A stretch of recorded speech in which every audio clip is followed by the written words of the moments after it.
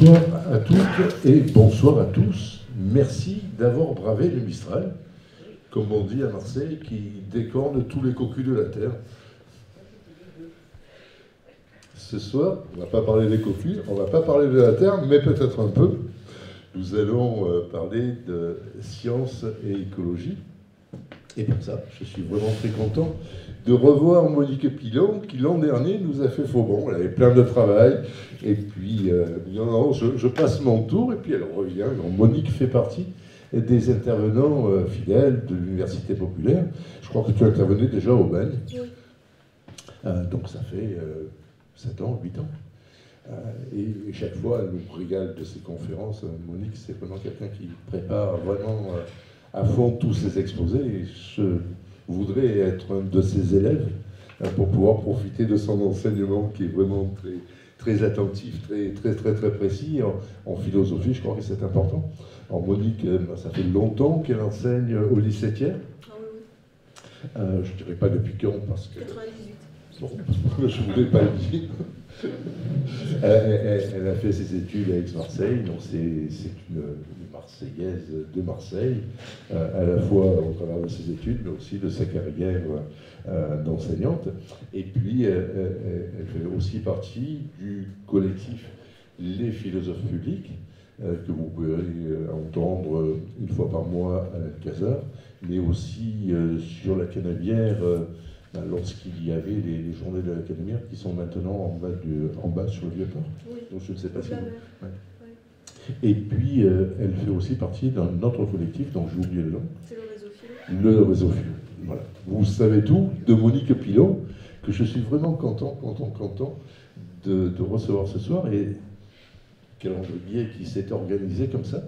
Euh, vendredi, j'avais aussi le plaisir euh, de recevoir le frère de Monique, Yves Pilon, qui nous a fait lui aussi une, conférence euh, très, très intéressante sur la rencontre et la rencontre qu'il a eue lui aussi avec Lévitas. Et voilà, je vous laisse passer une très belle soirée, puis n'hésitez pas à poser des questions et surtout pensez à rallumer vos téléphones portables en partant. Je vous souhaite une excellente soirée. Merci, ça, marche? Merci. Merci Jean-Pierre, c'est toujours un, plaisir de venir à l'UPOP et merci pour ton invitation. Alors, euh, je vais démarrer euh, euh, assez, directement.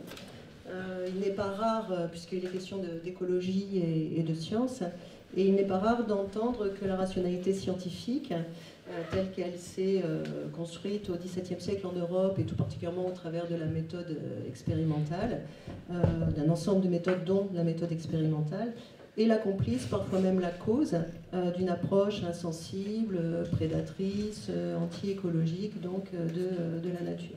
Par la froideur de ses calculs, par l'efficacité de ses techniques, la science réduirait le monde à de la matière sans âme, une matière régie donc par les lois de la mécanique et, euh, euh, une matière que la connaissance scientifique nous permet de, dominer et d'exploiter, donc euh, de façonner en tout cas à notre guise.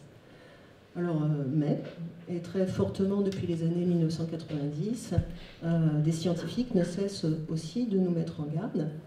nous ne pouvons continuer à, maltraiter les milieux dont nous dépendons pour vivre. Nous ne pouvons continuer donc de maltraiter les écosystèmes.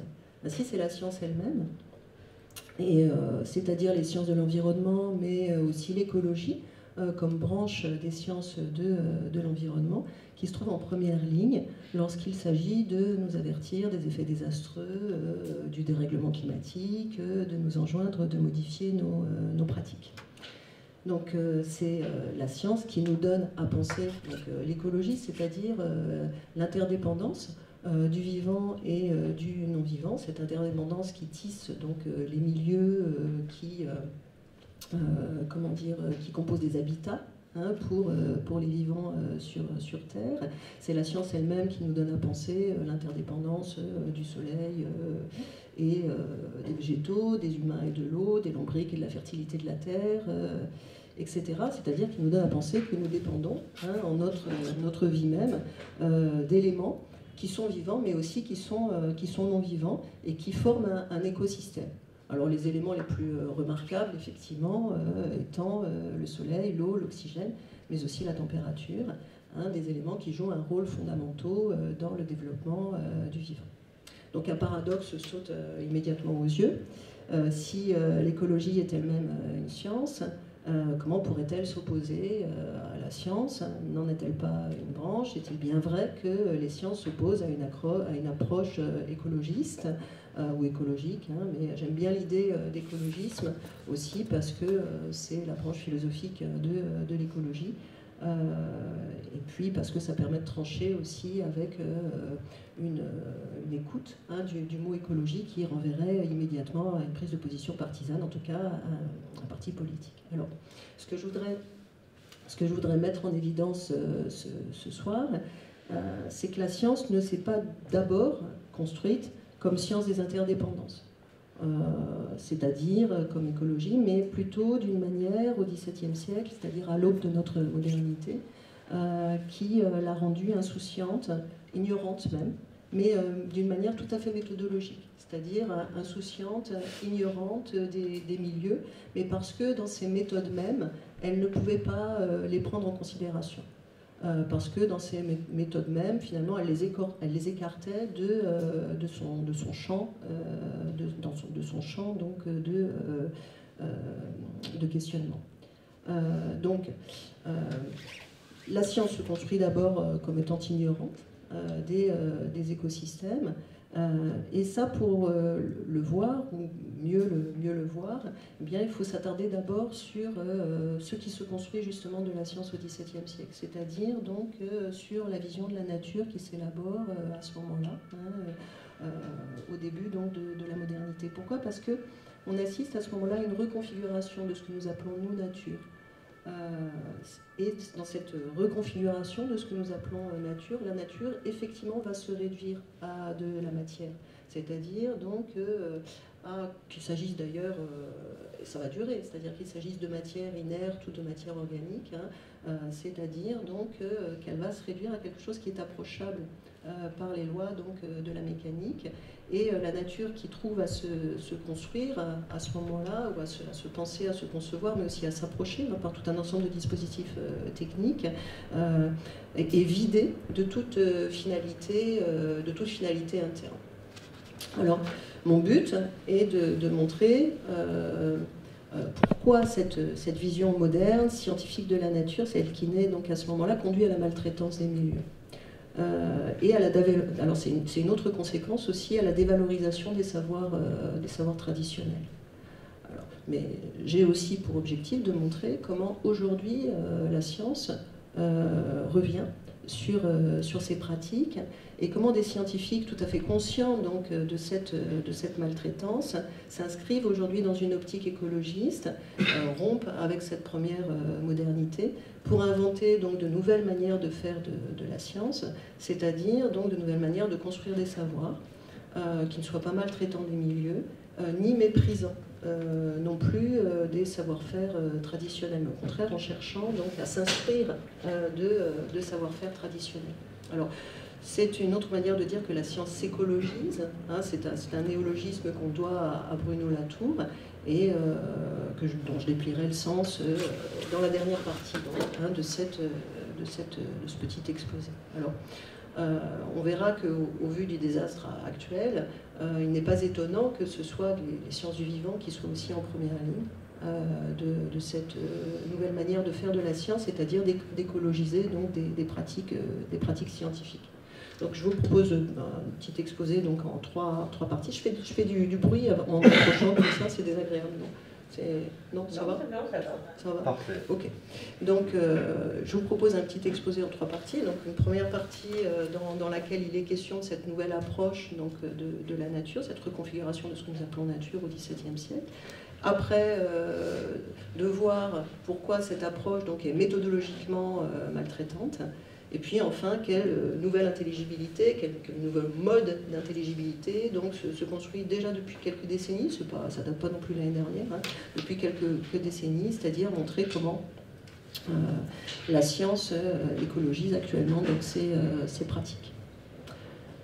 Donc mon point de départ, euh, bah, c'est la science telle qu'elle se fait, telle qu'elle se construit au, XVIIe siècle, avec un, mot, quelques mots donc, de Philippe Descola, qui est sans doute le plus grand anthropologue vivant, mais au-delà, peut-être la, figure intellectuelle contemporaine, donc la, plus, la plus marquante, la plus, comment dire, féconde. Et euh, Philippe Descola écrit ceci La révolution scientifique du XVIIe siècle a légitimé l'idée d'une nature mécanique où le comportement de chaque élément est explicable par des lois à l'intérieur d'une totalité envisagée comme la somme des parties et des interactions de ces, euh, éléments. Alors Philippe Descola insiste, voyez-vous, sur ceci que euh, le modèle idéal pour penser, ou le modèle à partir duquel penser la nature au XVIIe siècle, c'est le modèle de la machine. Euh, c'est-à-dire qu'on a affaire à une révolution scientifique qui repose sur une représentation du monde comme machine, c'est-à-dire euh, un agencement de, parties, hein, euh, tel que c'est cet agencement entre les parties qui produit le fonctionnement de la machine, c'est-à-dire la production des phénomènes de ce monde tous les phénomènes de ce monde hein, pouvant être rapportés donc, au fonctionnement de la machine et donc un agencement entre les différentes parties donc, de la nature. Donc le, modèle euh, à partir duquel euh, penser nouvellement euh, cette, cette, nature, c'est le modèle de l'horloge. une horloge, c'est un mécanisme construit, soumis à une rationalité qui lui est extérieure à un plan hein, que ces rouages réalisent d'une manière qui est tout à fait avec. Là, je, je ne vais pas me, priver de citer donc, euh, Prigogine et, Stengers. Euh, il y a Prigogine et Isabelle Stengers dans La Nouvelle Alliance, qui est un ouvrage donc, euh, assez, assez bien connu, qui paraît donc, exactement, je ne sais plus, dans les années 80, peut-être 79. Je, vous dirai ça, en tout cas, je vous dirai ça tout à l'heure, parce que je ne peux pas lâcher le micro et ouvrir le, livre, ouvrir le livre en même temps. Alors, donc un mécanisme construit, soumis donc, à une rationalité qui lui est extérieure, c'est-à-dire, ça, veut dire que euh, bah, l'horloge suppose un horloger, vous connaissez le, mot de, Voltaire, mais ça veut dire que euh, la nature, elle est soumise à une rationalité qui lui est externe, encore extérieure. Une rationalité qui lui est extérieure, c'est-à-dire une rationalité, en, tout cas ici, euh, divine, Euh, c'est-à-dire un Dieu euh, préside euh, à l'agencement de, la machine et l'intelligence humaine, miroir hein, de l'intelligence divine, est capable de retrouver cet agencement, c'est-à-dire donc de percer les lois du monde et de, reconstruire les lois donc, de, ce, de ce mécanisme. Donc l'horloge donne l'heure, il est bien clair que ce n'est pas selon une finalité interne. C'est-à-dire que euh, l'horloge n'a pas pour but de donner l'heure, euh, pas plus qu'un corps euh, matériel, une plume, une pierre, un oiseau, hein, n'aurait pour but de chuter ou de s'élever, de se mettre en mouvement ou encore de se mettre au, repos. Hein. Donc c'est bien une rationalité qui est tout à fait... Alors, est-ce que ça nous apparaît comme étant révolutionnaire? Pas du tout. Hein, euh, ça ne nous paraît pas du tout quelque chose voilà, qui, euh, qui nous surprend ou de, quelque chose qui serait tout à fait euh, étonnant, car nous vivons dans ce, que, nous ne voyons pas du tout. c'est que cette manière de penser la nature, pour et, et, sauf que ce que nous ne voyons pas comme étant une évidence, eh bien, a dû déloger euh, de, euh, des représentations, euh, des, des, esprits, une autre manière de, de, penser, qui était une manière héritée des anciens et tout particulièrement d'Aristote, à savoir donc une représentation aristotélicienne de la cause ou encore du monde. Et cette représentation aristotélicienne de la cause ou encore du monde, c'est une représentation donc, qui a dominé aussi une partie du monde médiéval, une partie de la philosophie médiévale, c'est-à-dire la philosophie médiévale à partir du moment où on redécouvre Aristote à partir du moment où on fait vivre Aristote donc, dans le monde de, de l'université. Euh, donc, qu'en est-il? Alors C'est-à-dire que cette philosophie, elle balaie une philosophie euh, ancienne, euh, et ça vaut le coup peut-être de... Enfin, ça, m'intéresse de faire ce détour par la philosophie d'Aristote pour mieux comprendre ce que c'est que là, une représentation mécaniste du monde, et pour mieux comprendre ce que c'est que la causalité, c'est-à-dire pour mieux comprendre ce que c'est qu'un agencement mécanique. Hein, et en quoi donc euh, réduire à des agencements mécaniques euh, la nature, bah, c'est effectivement euh, la vider de toute, de toute finalité. Donc je fais ce détour pour mieux comprendre donc, cette dimension de, de, de, ce que, je dis. Hein. Voilà. Donc pour Aristote, alors je me réfère là au livre 2, chapitre 1 donc de, de la physique, tout corps, de la physique d'Aristote, donc tout corps contient en lui-même un principe de, mouvement. Alors, mouvement, mouvement selon quoi? Bah, d'abord, mouvement, dit Aristote, selon la croissance et la décroissance, c'est-à-dire euh, croissance d'un enfant, croissance d'un arbre, croissance d'une plante, hein, euh, mais euh, mouvement aussi selon la motricité. motricité bah, d'un enfant encore, d'un oiseau, d'un humain, mouvement encore, dit Aristote, selon l'altération. Par exemple, euh, l'eau qui croupit, le fer qui rouille, la peau qui se ride, euh, la pierre qui s'érode, euh, voilà. Donc trois, sortes de mouvements, mais chaque chose contient en elle-même un, principe de, son, de son mouvement, c'est-à-dire de son altération, s'il y a altération, de sa croissance s'il y a croissance, et, puis de sa motricité, donc s'il y, a, s'il y a motricité. Ça veut dire que dans cette perspective, ou encore dans cette optique, la plume est faite pour voler, la pierre est faite pour s'éroder. Euh, le, euh, la graine est faite, pour se développer en tournesol ou en chou-fleur, euh, le fer est fait pour rouiller, etc. Et ce principe interne de mouvement, c'est bien un principe universel, c'est-à-dire c'est bien un principe qui s'applique à tous les êtres, toutes les choses donc, qui existent en ce monde. Donc c'est un principe sous lequel ranger donc, tous les mouvements, tous les mouvements existants. Hein. Alors on voit bien que selon ce principe, est fait déjà dans la, dans la cause. C'est-à-dire le tournesol est déjà dans la, dans la graine. Hein. Donc l'effet est déjà dans la cause, le fer est déjà contenu d'une certaine manière euh, dans, euh, ou la rouille pardon, est déjà contenue d'une certaine manière donc, euh, dans le fer. Comment? Bah, Potentiellement, Aristote dit en puissance. Hein. donc en puissance donc, de rouiller, tel est le fer, en puissance de tournesol, telle est la graine, etc. Alors Or, à partir de Galilée, euh, les choses euh, changent complètement. Euh, c'est-à-dire qu'à partir de Galilée, chercher la cause d'un phénomène, c'est plus du tout, mais plus du tout chercher dans sa nature propre ce qui va produire ce phénomène. C'est-à-dire, c'est plus du tout chercher une cause de, son développement, donc qui serait contenu dans sa nature, dans sa nature propre, mais c'est comprendre le phénomène comme le produit d'un mécanisme universel, dont le phénomène n'est qu'un exemplaire. Euh, c'est-à-dire que si je prends par exemple euh, la loi de la chute des corps, bah, euh, la plume comme la pierre y sont soumis tout à fait également, puis le tournesol aussi, hein, il, y est, il y est parfaitement donc, soumis. Hein.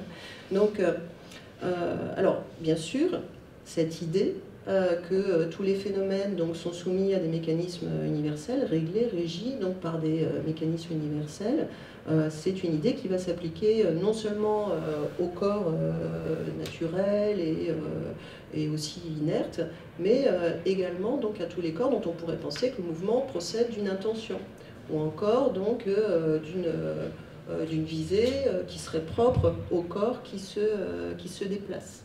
Hein. Bah, par exemple, un nageur.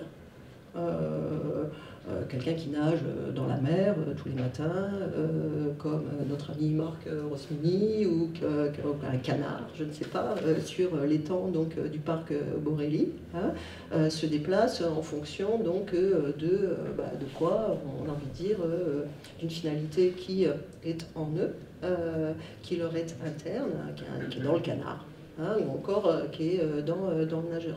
Oui, mais euh, si euh, on en croit Galilée, bah, euh, en réalité, ce qui fait que le nageur flotte et ce qui fait que le canard flotte, ce sont les mêmes lois du flottement. C'est-à-dire, ça n'a pas grand-chose à voir avec une capacité propre au nageur de flotter et une capacité propre au canard de, flotter. Les deux hein,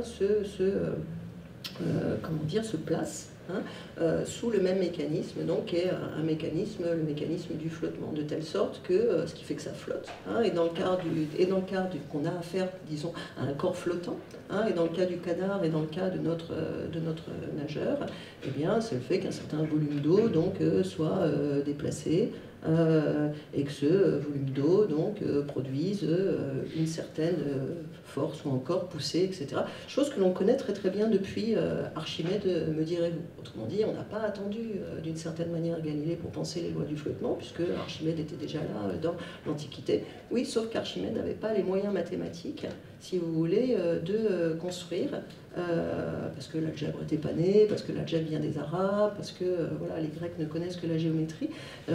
notre Archimède n'avait pas les moyens de construire donc l'équation du flottement.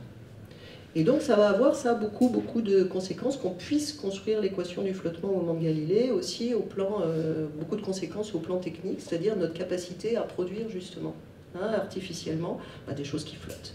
Hein. Alors, mais avant d'en arriver là, peut-être je m'attarde encore un petit peu sur euh, ma causalité, euh, ma causalité galiléenne. si je prends un but, un coup de pied qui conduit un ballon dans les cages de l'OM. Voilà, soyons un peu partisans. Hein, euh, alors on pourrait croire que euh, le but est dans le coup de pied. C'est-à-dire quand même, euh, dans ce coup de pied à nul autre pareil, qui fait que, ben voilà, but. Hein. autrement dit, un autre coup de pied que celui-là n'aurait pas pu, semble-t-il, produire hein, ce, ce but-là. Donc il fallait ce coup de pied-là pour envoyer donc, ce ballon de cette manière-là dans ces buts-là. Alors là, on pense, euh, quand on pense ainsi, on pense vraiment en termes aristotéliciens. C'est-à-dire que, voilà, par nature, ce coup de pied est fait pour, etc. Hein. Mais en termes mécanistes, euh, la trajectoire du ballon, bah, ce n'est qu'une résultante euh, mécanique d'un rapport entre deux forces, en l'occurrence entre une force d'impulsion et puis une force d'attraction. Donc la, trajectoire du ballon, elle est parfaitement prévisible. Euh, c'est une parabole hein, qui va pouvoir, euh, à tous les moments finalement de son existence, euh, être calculée. pourquoi? Parce que c'est un différentiel donc, entre deux forces, hein, cette force d'impulsion et puis une force, une force d'attraction. Alors, on dira que, pas du tout. Euh, pour qu'il y ait trajectoire et pour qu'il y ait but, il fallait bien qu'il y ait quelqu'un euh, qui décide donc euh, d'envoyer ce ballon dans les cages et qui y parvienne. Mais ce n'est pas nécessaire. Ce n'est pas nécessaire, c'est-à-dire qu'une machine bien réglée peut tout à fait permettre au ballon d'avoir exactement la même trajectoire. Ah oui, mais quand même, pour que ça marche, eh bien, il faut sortir bah, le buteur du terrain déjà, il faut sortir aussi euh, bah, les autres joueurs hein, euh, qui voudraient s'emparer du ballon. il faut arrêter le match. Bref, il faut sortir le phénomène de son milieu. Il faut sortir le phénomène de son milieu, c'est-à-dire bah, du barge de foot. Il faut isoler le ballon hein, et, c'est-à-dire isoler la trajectoire du ballon comme composant des forces, etc. C'est-à-dire qu'il faut faire abstraction du, du milieu. Et euh, ben, c'est exactement ce que fait la science. C'est-à-dire, donc, il va falloir penser les, lois euh, du mouvement euh, de manière abstraite, c'est-à-dire sans tenir compte justement de toutes les particularités d'un milieu, et on le verra, de tout ce qui peut, dans un milieu, fausser justement bah, l'application de la loi dans toute, dans toute sa pureté. Alors ça, je le développerai tout à l'heure. Mais euh, ce, que, ce, que, voilà, ce sur quoi j'insiste là, c'est que vraiment pour Galilée, l'effet n'est plus dans euh, la cause, euh, pardon, l'effet n'est plus contenu potentiellement, voyez-vous, dans, dans la cause. C'est-à-dire que le but n'est pas en puissance, pas du tout donc, dans ce coup de pied, pas plus que la rouille n'est en puissance dans le fer, pas plus que le flottement n'est en puissance dans le canard, etc. L'effet n'est plus dans la cause comme en puissance, c'est-à-dire que pour euh, penser euh, ce que c'est qu'une cause, on n'a plus besoin du rapport euh, puissance-acte. Hein. On a besoin juste d'un agencement mécanique, hein, d'un rapport hein, tel que si A alors B, et si non B, bah, alors non A. c'est juste un, agencement mécanique, donc, de telle sorte que on a un rapport nécessaire entre des conditions d'apparition et puis euh, l'apparition donc euh, euh, d'un phénomène. Ainsi, je le disais tout à l'heure, hein, pour les, lois du flottement, hein, le bois ne flotte pas parce qu'il a le pouvoir de flotter, hein, c'est pas parce qu'il est léger. on sait aujourd'hui qu'on peut faire flotter des tankers qui, voilà, qui, représentent des, sommes faramineuses en termes de, poids, quoi, de, de, tonnes, de tonnage. Donc euh, ce n'est pas parce que la propriété, parce qu'elle boit la propriété de flotter qu'il flotte, hein, euh, mais euh, plutôt parce que voilà quelque chose hein, des, lois du flottement s'accomplit, c'est-à-dire que s'applique à tous les corps, au corps qui flotte comme au corps qui coule. Hein. C'est-à-dire que couler, eh bien, euh, c'est, ça réalise le même mécanisme, hein, voyez-vous, que, que flotter. C'est toujours un rapport, pour le dire autrement, entre un volume, son propre poids spécifique, et puis le poids d'un fluide déplacé. C'est-à-dire ce rapport-là, de toute façon, il vaut et pour le corps qui flotte et pour le corps donc, qui, qui coule. alors, l'intérêt, d'une telle, euh, représentation euh, du monde et qu'elle euh, dévoile une nature qui est manipulable par l'humain. Manipulable, par l'esprit, on peut déchiffrer donc le fonctionnement des rouages de la machine. Et une fois qu'on connaît le mécanisme producteur, c'est-à-dire une fois qu'on connaît la cause des phénomènes, on peut non seulement prévoir les phénomènes, mais on va aussi pouvoir les modifier. Euh, on va pouvoir réparer les phénomènes euh, existants, et puis on va pouvoir produire artificiellement euh, les, phénomènes, c'est-à-dire qu'on va pouvoir les produire techniquement. Alors, par exemple, si on, connaît les lois du flottement, ben, on peut produire quelque chose techniquement, on va pouvoir produire quelque chose qui flotte et qui n'est pas naturel, qui n'existe pas dans la nature on va non seulement pouvoir produire quelque chose qui flotte, mais on va pouvoir aussi couler euh, des choses qui flottent, si on ne veut plus euh, euh, qu'elles flottent. Donc la, science du, la science du 17e, c'est une science assez limitée dans ses pouvoirs, mais qui a déjà une immense conscience de, ce qu'elle peut et des pouvoirs dont elle, dont elle dispose. Assez limitée, hein, voilà, elle a fait d'immenses progrès depuis, mais elle est apparue très très vite comme une puissance transformatrice de la nature très très vite comme une capacité transformatrice donc, euh, de, euh, de, la nature. Alors on, connaît très bien le, mot de Descartes, hein, que la science nous rend comme euh, maître et possesseur de, de, la nature. Mais dans, le, dans ce même texte où Descartes donc, a cette, cette proposition, hein, que la science nous rend comme maître et possesseur donc, de, de la nature, et c'est comme, il ne s'agit pas non plus de prendre la place de Dieu, hein, donc, mais comme maître et possesseur de, la nature, il insiste aussi sur, sur, euh, sur euh, cette idée que la science nous délivre de quoi eh bien, D'un ensemble de mots naturels et notamment de la maladie. C'est-à-dire que la science est un bienfait. Pourquoi? Parce qu'elle va nous donner le pouvoir technique de transformer un état, par exemple, de maladie en état de, santé. Autrement dit, elle a ce, caractère opératoire, cette dimension opératoire. Et la science du XVIIe est très consciente hein, de cette dimension-là. Alors, euh, c'est-à-dire qu'il euh, y a, euh, on pourrait dire en même temps que la science, une utopie technicienne qui est encore, comment dire, très présente aujourd'hui dans beaucoup d'esprits et que font vivre encore beaucoup donc, de scientifiques et de, non-scientifiques. Une utopie technicienne, c'est-à-dire l'utopie d'un monde libéré de la dépendance à la nature. L'utopie d'un monde libéré de la dépendance au milieu, euh, libéré par quoi et eh bien Justement par, euh, par la technique. Euh, et au XVIIe siècle, aux alentours de 1620, il y a un philosophe qui rend particulièrement compte de cette utopie technicienne qui est Francis Bacon. Francis Bacon, donc, alors je, je, je, lis un petit, un petit, petit peu. Alors, je, coupe le texte ou je le, censure. Pourquoi? Parce que c'est un texte qui travaille sur un, jeu des, oppositions, mais après tout, je pourrais lire le texte euh, non coupé et puis ensuite euh, simplement conserver ce qui, m'intéresse de ce jeu des oppositions. Et donc, dans, la, préface à euh, son livre principal, d'ailleurs, L'Instauration Magna, Francis Bacon écrit ceci La fin qui est proposée à notre science n'est plus la découverte d'arguments, mais de techniques non plus de concordance avec les principes, mais des principes eux-mêmes, non d'arguments probables, mais de dispositions et d'indications opératoires. C'est pourquoi d'une indication différente suivra un effet différent. Vaincre et contraindre là-bas un adversaire par la discussion, ici, la nature par le travail. Donc, euh, si, je, si je retiens simplement dans ce petit jeu d'opposition, donc entre les anciens et les modernes, c'est-à-dire entre ce qui préoccupe, euh, ce qui préoccupait euh, les, scientifiques de, l'Antiquité, à, savoir donc développer une représentation du monde euh, cohérente, euh, parfaitement argumentée et qui repose sur une logique argumentative telle qu'on va pouvoir vaincre un adversaire, dit Francis Bacon. Donc à, cela, hein, Bacon oppose quoi? Eh bien, la découverte de techniques, de dispositions et d'indications opératoires hein, par lesquelles il s'agit de vaincre et de contraindre la nature par le travail. C'est-à-dire que la nature, voyez-vous, c'est ce qui nous fait face, c'est ce qu'il s'agit de vaincre, il s'agit de nous en libérer, et il s'agit de la vaincre hein, de telle sorte qu'elle nous obéisse.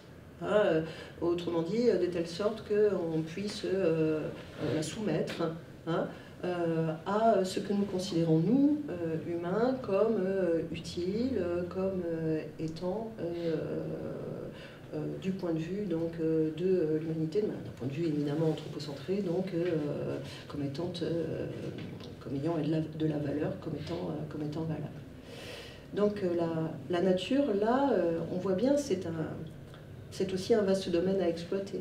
C'est-à-dire, donc, euh, c'est ce dans quoi nous allons pouvoir trouver des ressources hein, qui nous seront utiles, c'est ce que nous allons pouvoir mettre à notre service et elle se donne comme, euh, alors on n'en est pas, c'est pas le vocabulaire du XVIIe siècle bien entendu, hein. c'est le vocabulaire aujourd'hui donc euh, de scientifiques avertis de l'écologie ou de militants ou de, gens sensibles donc à la, cause écologiste qui dirait plutôt qu'on réduit aujourd'hui la, nature à un stock de ressources euh, à exploiter. Euh, donc c'est pas ce, vocabulaire-là hein, qui domine chez Bacon, euh, ni, d'ailleurs ailleurs, mais pour autant, donc, le vocabulaire de la matière est bien là. C'est-à-dire que bah, la nature, c'est de la matière, hein, Descartes dit c'est de l'étendue, hein, c'est de la matière, et cette matière, donc, est un domaine à exploiter, à vaincre, à transformer.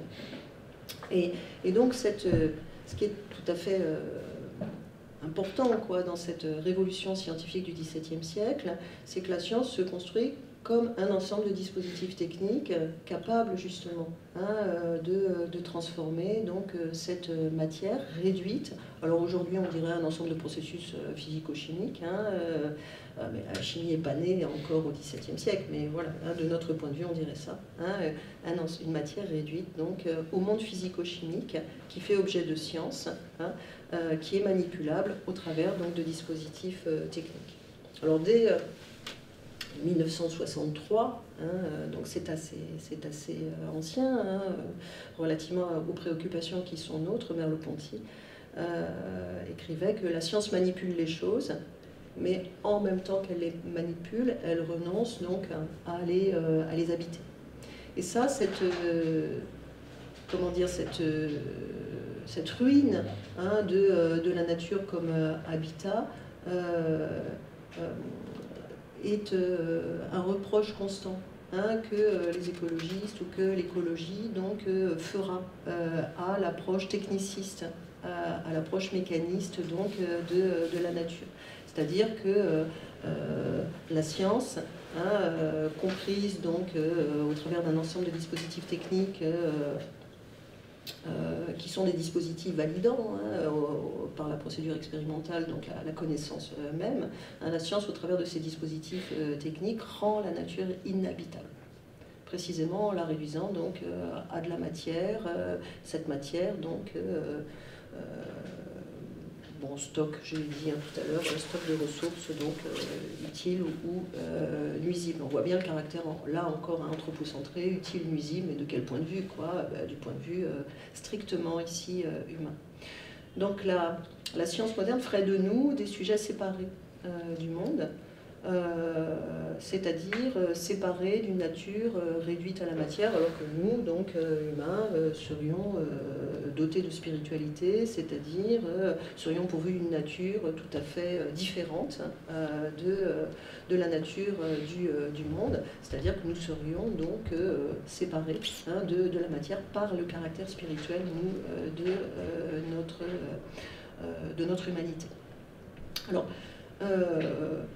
Bon, cette nature, euh, on ne cesse de le, souligner aujourd'hui, hein, elle est propice à un ensemble d'angoisses métaphysiques, de fait, hein, puisqu'on est séparé, on est séparé d'elle, euh, angoisse métaphysique, angoisse pascalienne, hein, c'est même Pascal au XVIIe qui dit, euh, voilà, qui se dit effrayé par le silence des espaces infinis, et cette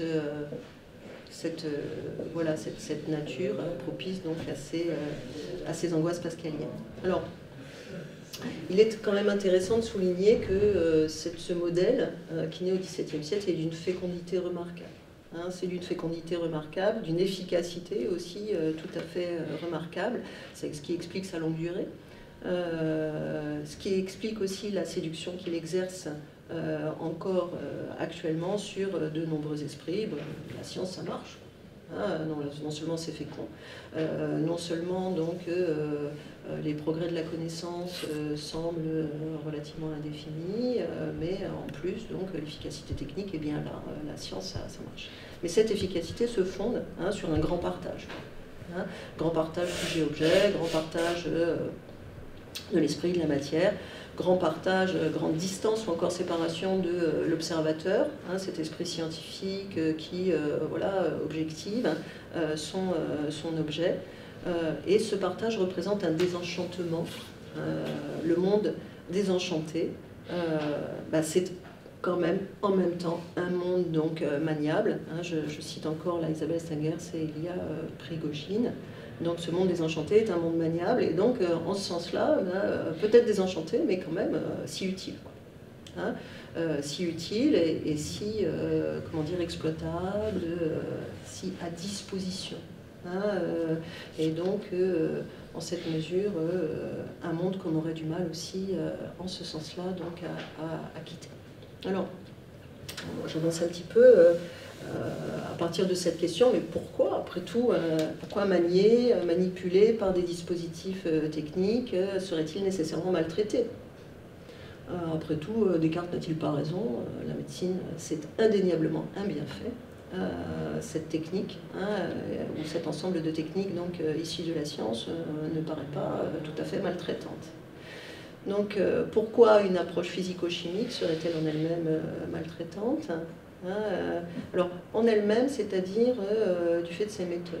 En elle-même, c'est-à-dire non pas par les applications qu'on pourrait en avoir, c'est-à-dire du, point de vue d'un usage politique hein, ou d'une utilité donc politique, euh, du point de vue d'une organisation sociale, par exemple, euh, une organisation industrielle qui déciderait donc euh, d'appliquer dans le champ de la production des techniques scientifiques pour obtenir donc quelque chose de plus rentable, de plus efficace, etc., etc. Donc non pas de ce point de vue-là, puisque mon, propos donc c'est bien science et écologie. Hein, et, non pas, et non pas écologie et politique. Hein, euh, mais euh, du point de vue donc, des méthodes euh, scientifiques elles-mêmes. Qu'est-ce qui, hein, dans, la, science elle-même, qu'est-ce qui, dans les méthodes scientifiques elles-mêmes, hein, pourrait se donner comme cause de maltraitance ou maltraitant nécessairement donc, bah, ce que nous appelons nature. Alors dans cette, deuxième partie, que je voudrais peut-être un peu plus courte que la précédente, euh, je voudrais montrer que tant que les sciences ont été indifférentes au milieu, et qu'elles le sont, et elles le sont donc euh, méthodologiquement par méthode, hein, euh, elles ont été maltraitantes donc, de, ces mêmes, de ces mêmes milieux. Autrement dit que la maltraitance est liée à, aux, méthodes, aux méthodes scientifiques. Alors, par maltraitance, j'entends traiter mal, au sens où Émilie H. parle de, maltraitance dans un livre qui est ce à, quoi nous, ce à quoi nous tenons, donc euh, d'Émilie H., qui est une philosophe euh, contemporaine. et par maltraitance, donc traiter mal au sens de traiter en toute ignorance et indifférence à ce que l'on fait. C'est-à-dire que la maltraitance, elle serait là, hein, dans l'indifférence et l'ignorance, donc de à, pardon, indifférence à ce que l'on fait, en l'occurrence en toute indifférence ou ignorance donc des effets produits sur, sur un milieu. Alors, la première raison méthodologique, à partir de laquelle la science euh, serait ou est maltraitante, en tout cas c'est ce que je soutiens ou c'est l'hypothèse que je, défends ici, hein, euh, la, première, euh, la première raison c'est que par méthode, comment dire, par, pardon, par objectif, hein, l'objectif de, la science est de dire donc quelles sont les lois universelles de la nature. Et dire quelles sont les lois universelles de la nature, eh bien, euh, c'est toujours euh, dire ce qui vaut euh, partout et toujours comme agencement mécanique. Partout et toujours, c'est-à-dire eh bien, indifféremment au milieu. Partout et toujours, c'est-à-dire quel que soit le milieu. partout et toujours, c'est-à-dire donc sans, comment dire, en faisant abstraction justement de tout ce qui pourrait particulariser l'agencement de tout ce qui pourrait le particulariser, cet agencement, donc dès lors que cet agencement serait introduit dans un milieu particulier. C'est-à-dire que l'objectif de la science, est bien de concevoir euh, les conditions générales et universelles de la production d'un effet. Conditions générales, c'est-à-dire euh, qui, sont communes hein, à tous les cas, universelles qui s'appliquent euh, à tous les cas. Et à partir de là, donc, des conditions qui ne sont pas propres un milieu, qui ne sont pas particulières à un milieu, mais qui valent précisément donc, pour tous. Hein. Donc il va falloir faire abstraction des milieux. Si on veut penser les lois universelles, il faut faire abstraction du milieu. Hein. Euh, faire abstraction, c'est-à-dire abstraire le phénomène euh, du milieu, hein, qui pourrait lui donner un tour particulier, euh, une forme particulière, qui pourrait donc lui donner même un style, pourquoi pas, donc particulier. Alors, ici, je reprends un exemple d'un physicien qui est bien connu, qui est Étienne Klein, qui, comment dire, qui se plaît à, faire des vidéos sur Internet, on va pouvoir l'écouter euh, pour parler donc des lois de, la physique. Et Étienne Klein donc, donne un exemple qui est bien voilà, qui, est formidable pour euh, ce petit exposé, donc euh, celui de Galilée élaborant la loi de la chute des corps. Il dit, ben voilà, Galilée, élaborant la, loi de la chute des corps, va prendre un récipient, il va remplir le récipient donc, de mélasse, un, sucre assez, euh, épais, et puis il va plonger, il va immerger donc euh, voilà, un corps, et puis euh, observer ce qui se passe hein, de la chute de ce même corps. Puis ensuite, il va prendre un autre récipient, et puis cette fois-ci, on va mettre de la mélasse, on va mettre de l'eau, hein, et puis on observe que voilà, ça ne se comporte pas tout à fait de la même manière. Et puis ensuite, on prend un récipient identique, hein, et puis le corps aussi identique, ou en tout cas euh, sur, le même, sur le même modèle que les deux premiers. Et puis, euh, on met rien dans le récipient, c'est-à-dire euh, de l'air. Et puis là, on observe aussi un comportement tout à fait différent. Donc on voit bien que dans les trois cas, le corps se comporte différemment. Hein.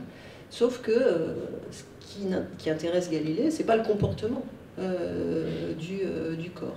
Ce qui intéresse la Galilée, c'est l'agencement mécanique euh, qui va faire que ce corps euh, chute. Et donc ce que va concevoir, ce que va concevoir Galilée, c'est que euh, tous les corps eh bien, chutent dans le vide à la même vitesse. Mais ça, c'est une expérience de pensée.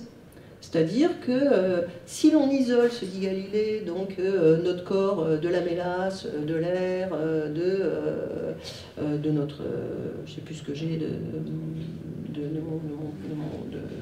de, l'eau, voilà, de ce fluide hein, euh, particulier donc, euh, qui est l'eau. Si on, si, si on, si on isole donc, notre corps eh bien, euh, de, de, tout, de tous ces éléments, eh bien, le corps bah, chute et tous les corps à ce moment-là vont chuter donc à, la même, à la même vitesse. Alors, bien sûr, Galilée n'observe pas que tous les corps dans le vide chutent à la même vitesse. On n'a pas les moyens de faire le vide à ce moment-là.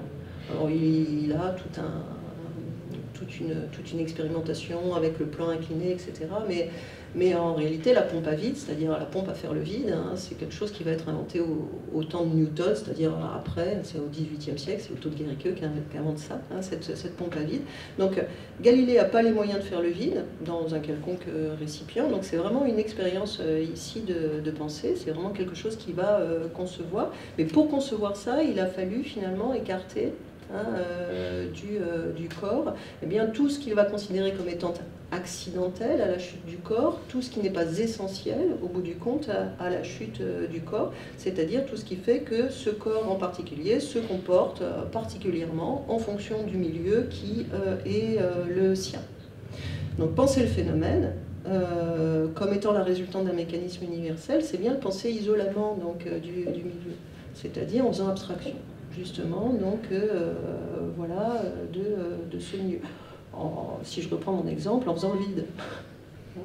Euh, mais voilà, il s'agit bien de faire le vide, c'est-à-dire donc euh, d'écarter tout ce qui est susceptible de perturber ou encore de fausser le mécanisme universel. C'est-à-dire que le milieu euh, méthodologiquement, hein, pour une science qui cherche des lois, des lois universelles et générales, c'est d'abord ce qui fausse le mécanisme.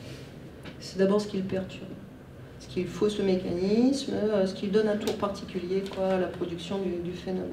Le milieu, c'est ce qui fait que tel phénomène astronomique, telle aurore boréale, tel phénomène biologique, cette espèce de grenouille avec des petites taches rouges qui fait moins d'un centimètre, ce qui fait que tel phénomène acoustique, cette propagation du son, eh bien, ne peut se produire que là, que dans ce, euh, voilà, que dans ce système particulier d'interaction. Donc un milieu, c'est un système particulier d'interaction qui, d'une certaine manière, va particulariser la loi, mais en la particularisant, donc, euh, bah, la brouille. Euh, et pour retrouver la loi, donc, il faudrait épurer. épurer donc la loi, c'est-à-dire écarter justement tout ce qui est susceptible de la, de la brouille. Donc au milieu correspond toujours une configuration particulière, je dis un jeu d'interaction, hein, voire singulier, quoi, à euh, nul autre pareil, n'existant que là, hein, qui vient parasiter donc la pureté de la loi et fausser le mécanisme universel. On pourrait opposer au milieu, c'est-à-dire à sa complexité, à sa richesse, à ce jeu d'interaction particulier, la paillasse hein, du biologiste ou encore du physicien, c'est-à-dire ce qui se passe en labo. Là, euh, en labo, euh, les éléments, tous les, tous les éléments qui participent à l'agencement euh, d'un mécanisme sont comment dire, identifiés, ils sont isolés, ils sont gradués, ils sont mesurés. Hein, et on va pouvoir, d'une certaine manière, conduire des expérimentations de, manière à demander à, chaque élément exactement quel rôle il joue hein, dans la production d'un effet donné. donc, parce qu'on peut les interroger séparément, justement, ces, éléments, on en enlève, on voit ce qui se passe, on en remet un, on voit ce qui se passe, un peu plus, un peu moins, etc. On, voilà, on, peut, travailler donc en isolant justement euh, les, euh, les éléments euh, pour interroger leur rôle dans la production donc, finale. Hein. Alors ça, c'est la première raison, vraiment, le milieu, c'est ce qui perturbe, ce qui fausse, voilà, ce qui interdit d'une certaine manière la considération de la loi dans, sa, voilà, dans toute sa pureté, sa généralité, son universalité. Mais il y a une deuxième raison méthodologique à la maltraitance des milieux par la science euh, moderne. Et cette, euh, cette deuxième raison est, que la science peut se passer, euh, peut se passer de la nature une fois, on a envie de dire, qu'elle en a percé ou connu donc, les, mécanismes. Et même si l'on en croit Bacon, elle a pour but de s'en passer. Hein, en produisant donc un dispositif opératoire qui bah, se substitue au mécanisme naturel, qui est là pour se substituer au mécanisme naturel. Hein. Euh, une fois qu'on connaît le mécanisme de la fécondation, ben, on peut se passer d'humain pour féconder, euh, c'est-à-dire donc pour qu'un spermatozoïde féconde un ovule, on n'en a plus besoin. Hein. Euh, une fois qu'on connaît le mécanisme de l'électricité, on peut se passer de l'éclair pour éclairer sa maison, par exemple, ce qui est quand même assez pratique. Hein, s'il fallait attendre un orage, voilà, et même que l'éclair traverse la maison pour pouvoir bouquiner le soir, voilà, après le coucher du soleil, ça serait quand même un petit peu compliqué. Hein. Donc, euh, alors la science produit des, dispositifs euh, techniques. Alors j'ai un peu évoqué tout à l'heure, mais c'est comment dire, euh, c'est dans sa nature même de produire ces dispositifs depuis justement que la science s'invente en tant que science expérimentale.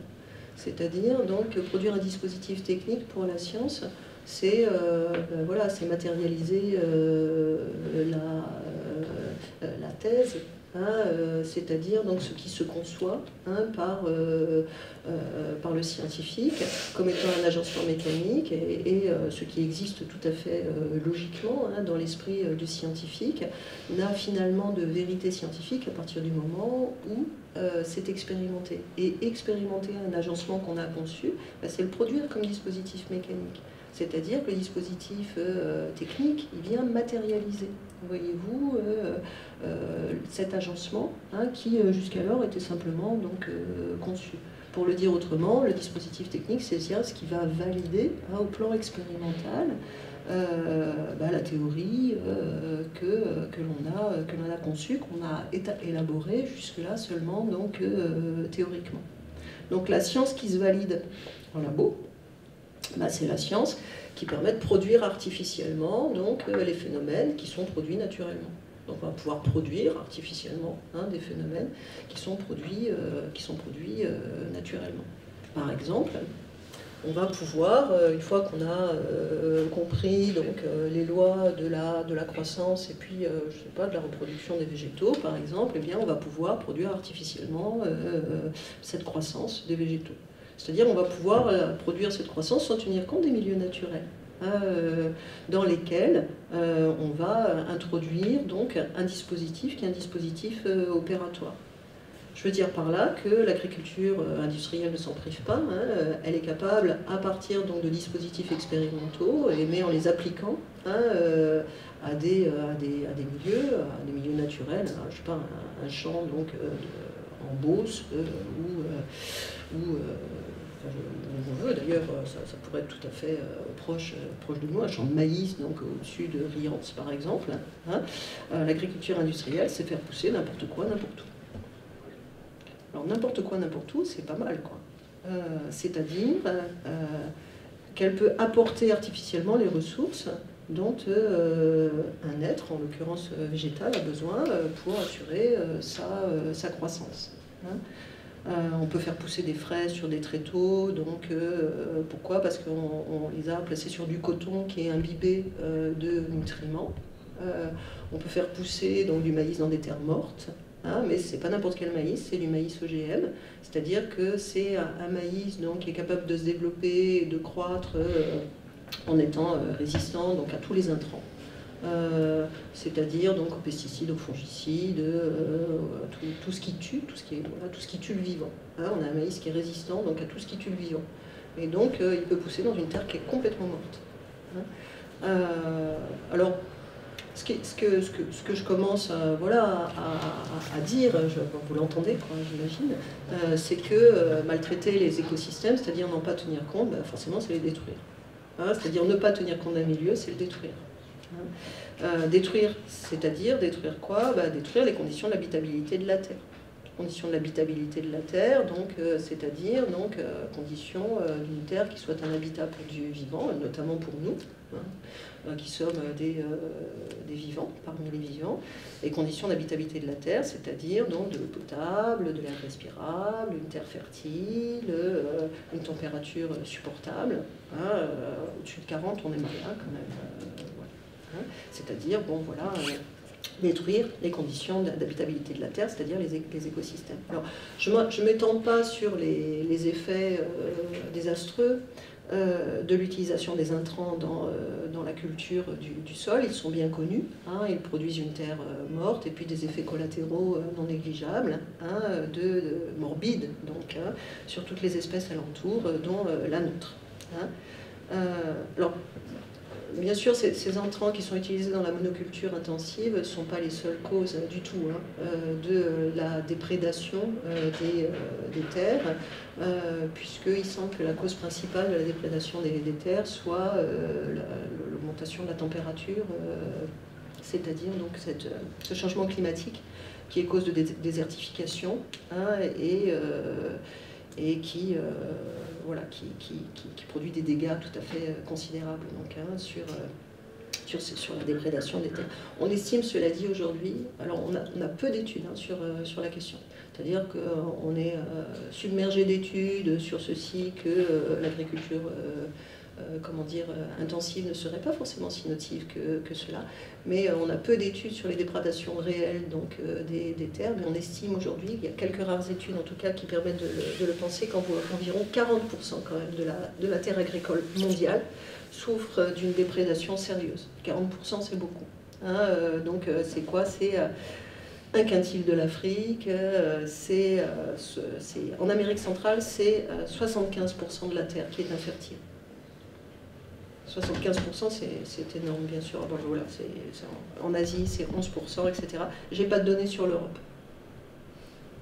Euh, ce qui ne veut pas dire que, bien entendu, euh, l'Europe ne subisse pas hein, euh, cette déprédation, donc, comme les autres terres de, du monde. Alors, Avant de passer à quelque chose de plus riant, une troisième partie qui montre comment la science tout à fait consciente hein, de, de, ce que un certain nombre de ces, de ces pratiques sont, sont, sont, désastreuses, eh bien, je, voudrais rapidement tirer une troisième conséquence de, de, la révolution donc, scientifique, celle de la dévalorisation des savoir-faire, et notamment de tous les savoir-faire locaux euh, régionaux ou encore euh, traditionnels un savoir-faire, donc c'est toujours un savoir-faire qui se construit, c'est toujours un savoir qui se construit empiriquement, hein, c'est-à-dire donc euh, au travers d'un ensemble de pratiques sur un milieu donné. le savoir-faire, il n'est jamais, jamais exportable, le savoir-faire, il n'est pas non plus importable, enfin le savoir-faire, il est local, il est régional, c'est le savoir-faire de cette, de cette terre par exemple, hein, s'il s'agit d'agriculture. Euh, ou encore de cette matière. Hein, euh, s'il s'agit de travailler euh, le fer, par exemple, il est impossible de travailler le fer comme on travaille le bois. Enfin, c'est toujours un savoir-faire qui est propre donc aux matériaux travaillés. Donc, le, savoir-faire n'a rien d'universel. Hein, il, ne peut pas, le savoir-faire valable ici, donc ne peut, ne peut l'être là. Et il se trouve que les sciences, dans leur du fait de leur objectivité, euh, du fait de la rationalité de leur méthode, euh, relèguent euh, au rang donc, de, superstition, hein, de croyances irrationnelles, ou ont relégué en tout cas au rang de superstition de, tous les savoir-faire traditionnels, c'est-à-dire toutes les pratiques hein, qui ne procédaient pas de leur démarche, hein, c'est-à-dire d'une démarche donc validée par, par la science. Alors ça, bien entendu que il y, a, cette posture de mépris, mais pas seulement, c'est-à-dire que ça fait passer, cette chose-là fait passer à côté donc euh, de l'efficacité aussi de savoir-faire ou de certains savoir-faire euh, traditionnels, fait passer à côté hein, de l'efficacité d'autres démarches que euh, la démarche scientifique, c'est-à-dire de, démarches qui ne ressemblent pas aux nôtres. Alors je, je, pensais me référer un, petit moment, pas longtemps, mais à, Star, à Starhawk, dont je n'ai pas amené, je, le regrette d'ailleurs, euh, euh, le livre Quel monde voulons-nous de, de qui est une, figure importante du militantisme écologique, mais depuis, une cinquantaine d'années hein, maintenant, et qui écrit donc Dans quel monde voulons-nous à propos des Premières Nations de Californie, les peuples natifs de, Californie, en disant en disant les premières nations de Californie ont élagué, taillé, récolté, débroussaillé par le feu les prairies et les forêts, selon des procédés qui créent des conditions optimales pour euh, la vie sauvage, l'ouverture des prairies et la croissance des grands arbres. Leur interaction avec le territoire était si intelligemment ajustée que les envahisseurs européens n'y ont rien compris.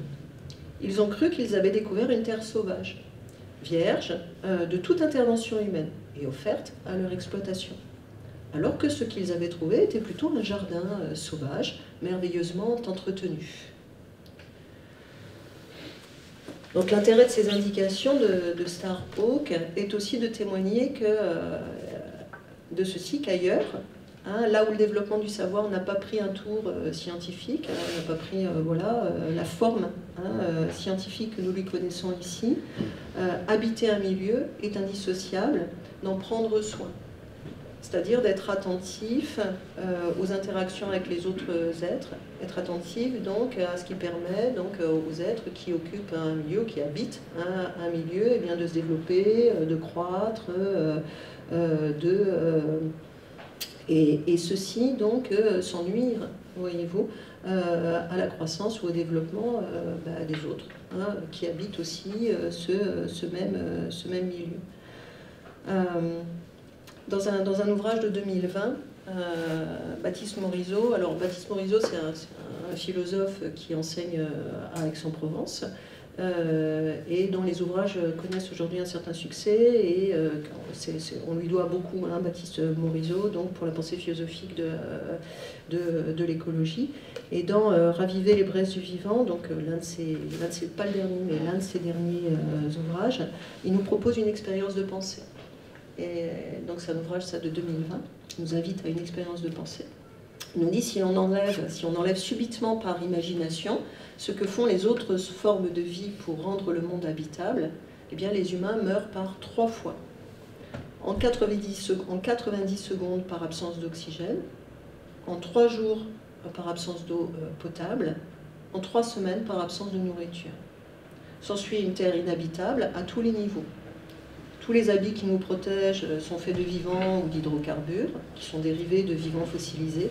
Tous les transports brûlent l'énergie issue d'antiques euh, etc. Hein. Euh, donc euh, c'est bien, bien l'écologie qui, nous apprend de quoi nous dépendons ou de quels êtres nous dépendons donc pour, voilà, pour vivre. Et c'est bien l'écologie qui nous apprend que ce n'est pas nous qui faisons l'habitabilité de cette terre.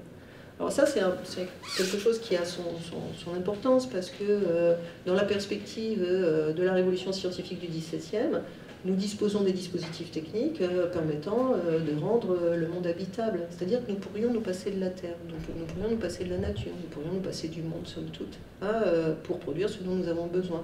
Quitte à manger des pilules, hein. Hein, mais quand même, on a cette, utopie technicienne qui, voilà, qui fait qu'à partir d'une science prométhéenne, quoi, on pourrait se passer euh, euh, de, la nature, c'est-à-dire de tous les êtres qui composent euh, ce monde, etc. Alors, l'écologie qui est la science, donc des interactions entre les vivants et les, non-vivants, nous, apprend que non, c'est une pure fiction, c'est une pure illusion, nous ne pouvons pas nous passer. Hein, des autres êtres donc qui, comme nous, font hein, cette, cette terre. C'est-à-dire que ce n'est pas nous qui faisons un air respirable, ce n'est pas nous qui faisons donc des aliments consommables, euh, ce euh, voilà, sont d'autres êtres, euh, ce n'est pas nous qui, qui, produisons la matière qui va nous permettre de, nous habiller, hein. ce, sont d'autres êtres que nous, des végétaux, des abeilles, des lombriques, du plancton, qui, qui, qui est l'être, hein, le plancton quand même, qui, produit le plus d'oxygène. Hein, pas beaucoup plus que la forêt amazonienne, par, exemple. Hein. Donc c'est la conscience des effets désastreux hein, euh, de, la non-prise euh, en considération des milieux, c'est-à-dire de, leur richesse, de leur complexité, qui a donné son élan à l'écologie dans le domaine des sciences. Alors, je ne voudrais pas du tout euh, minimiser l'importance hein, du militantisme, des actions militantes, euh, pas du tout minimiser l'importance des, actions euh, politiques, hein, voilà, l'écoféminisme par exemple, hein, des, années, des années 70, 80, magnifique, quoi, qui permet donc de, développer une conscience écologique. Je ne veux pas minimiser donc, ces, ces actions, pas du tout. Ah, simplement, ce n'est pas mon objet aujourd'hui. Ah, je ne suis pas venue parler d'écoféminisme ni de, politique. Ah, mais de, on peut en parler si vous voulez, ce n'est pas du tout ce que, ce que, je, ce que je veux dire, ce n'est pas du tout pour euh, écarter la possibilité de la question. Mais euh, voilà, je suis venue parler de la science et, de l'écologie. Alors, euh, et donc, euh, on a un certain nombre de philosophes qui s'intéressent euh, au fait que euh, la, science écologie, c'est pratique. Alors, ces philosophes, c'est notamment donc Émilie H, mais Émilie H, c'est une, une, jeune philosophe. Hein, les, premiers à s'intéresser à ces nouvelles pratiques scientifiques sont Bruno Latour et Isabelle, et Isabelle Stengers. Hein. Et puis aussi, il faut mettre dans le, dans le enfin, un, beau trio euh, dans cette communauté, donc euh, Vinciane Després, euh, qui travaille beaucoup, beaucoup donc, sur les, pratiques scientifiques et notamment les pratiques de, laboratoire et qui, qui, qui, qui s'intéresse donc à la manière dont les scientifiques font communauté, à ce que c'est ce qu'une, dire, une enquête scientifique, ce que ça engage de possibilités de débat démocratique même à l'intérieur d'une communauté scientifique, etc. Voilà. Donc c'est ce qui pour moi est un trio de tête, en tout cas Bruno Latour, Isabelle Stenger, Vinciane Després, donc euh, souligne que devenue consciente donc, euh, de, la maltraitance hein, qui est infligée euh, au, au, milieu, qui constitue nos communautés biotiques, donc eh bien toutes les disciplines se seraient mises à écologiser. Alors toutes, certaines plus que d'autres, c'est-à-dire entre un biologiste et un astrophysicien, Hein, euh, voilà, il y a un, écart qui fait que le biologiste est plus sensible, bien entendu, euh, à, euh, voilà, à la vie hein, que, que l'astrophysicien. mais aussi à l'intérieur donc des sciences du vivant, bien les sciences de l'environnement plus que voilà que, que, la biologie, etc. Mais quand même, toutes les disciplines se seraient mises à, écologiser. Écologiser, c'est un, néologisme hein, qui est fabriqué par Bruno Latour. Bruno Latour qui oppose écologiser et moderniser. Donc, selon euh, Bruno Latour, hein, euh, sous moderniser, on peut mettre tout un ensemble de façons de faire euh, qui répètent sous une forme ou sous une autre les différentes opérations disqualifiantes comme insouciantes, donc de partage entre les humains et les non-humains. Alors que du côté d'écologiser, il met de nouvelles pratiques. De nouvelles pratiques qui cherchent à prendre en compte justement des associations d'êtres et les associations d'êtres qui composent notre collectif association d'êtres hein, euh, qui composent donc notre biotope, encore euh, notre collectif, notre communauté, on, pourrait dire euh, biotique. Et écologiser, c'est faire attention justement à ne pas séparer de manière tout terrain. Séparer de manière tout terrain, c'est maltraiter. Hein, c'est traiter mal. Quoi. Alors cette, cette nouvelle manière de faire exige des, scientifiques qu'ils travaillent aussi en, de manière, comment dire, euh, à, considérer d'autres disciplines que les leurs, à strictement euh, parler. Hein, donc le physicien voilà, va s'intéresser au travail du, biologiste, l'océanographe va s'intéresser au travail donc je ne sais pas d'un spécialiste des, végétaux, etc. Donc elle exige aussi non seulement que les disciplines travaillent entre elles, euh, cette, nouvelle manière de faire de la science, mais aussi une autre forme d'attention aux choses. Une autre forme d'attention aux choses, euh, une autre forme d'attention à ce que nous appelons nature, c'est-à-dire une attention nouvelle à ce que, j'ai appelé dans la première partie euh, au comportement. Une attention nouvelle au comportement et un renouveau de l'attention justement au comportement des êtres ou encore des, des, choses. donc ce que. Euh, ça va supposer, voyez-vous, un, changement de perspective. C'est-à-dire donc euh, ne plus chercher euh, pour le scientifique des lois, des, mécanismes nécessaires, mais évaluer des besoins, évaluer des risques, évaluer des tendances, voire évaluer des préférences. préférences des êtres vivants, préférences des êtres vivants et des non-vivants, donc à l'intérieur d'un écosystème donné à côté de quelle variété d'arbres euh, les pommiers dont j'attends des pommes, euh, ou à côté de quelle variété de végétaux, donc euh, les pommiers dont j'attends des pommes, préfèrent-ils pousser Ont-ils besoin de pousser même pour éviter d'être infestés par des pucerons et donc bah, pour éviter qu'ils ne puissent donner justement hein, des, des, pommes. Donc, on va envisager, voyez-vous, des comportements, mais à partir, euh, enfin, la science va s'intéresser au comportement des, êtres à partir, voyez-vous, euh, de notions tout à fait euh, nouvelles, jusque-là complètement écartées même du champ scientifique au nom d'une objectivité qui considérerait qu'on a affaire quand même à une attitude très anthropomorphique et donc tout à fait inconciliable avec une attitude scientifique, c'est-à-dire une attitude qui consisterait à être objectif, neutre, impartial et complètement séparé donc euh, de la chose, qui n'est que mécanique, c'est-à-dire sans intérêt, c'est-à-dire sans besoin, c'est-à-dire sans préférence. Alors que là, vous voyez, dans cette nouvelle manière finalement de considérer le comportement des êtres et des choses à l'intérieur d'un milieu, c'est-à-dire de, euh, de quoi De chercher donc à savoir ce qui fait écosystème, eh on va considérer justement les comportements des êtres dans leurs besoins, dans leurs préférences, euh, dans leurs tendances, euh, dans, euh, voilà, risque hein, tout à fait, tout. Alors, par exemple, par exemple l'INRA aujourd'hui, qui est donc l'Institut national de recherche en, agronomie. Hein, euh, euh, L'INRA donc, euh, mène un certain nombre de, projets, conduit un certain nombre de, projets pour chercher à développer d'une manière écosystémique des, produits agricoles.